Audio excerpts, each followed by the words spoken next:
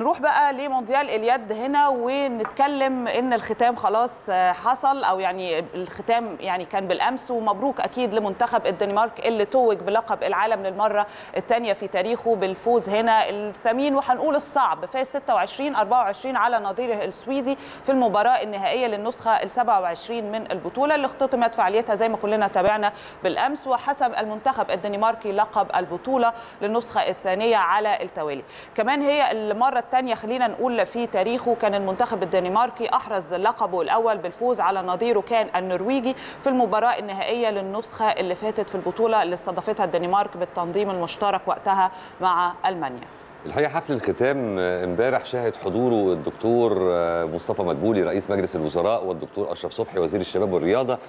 كمان عفوا كمان كان معاهم الدكتور حسن مصطفى رئيس الاتحاد الدولي لكرة اليد ويسلم رئيس الوزراء كأس البطولة للمنتخب الفائز بالمركز الأول بمشاركة رئيس الاتحاد الدولي للعبة إضافة إلى تسليم راية تنظيم المونديال في نسخته ال 28 إلى مسؤولي دولتي السويد وبولندا والمقرر استضافة المونديال بهما عام 2023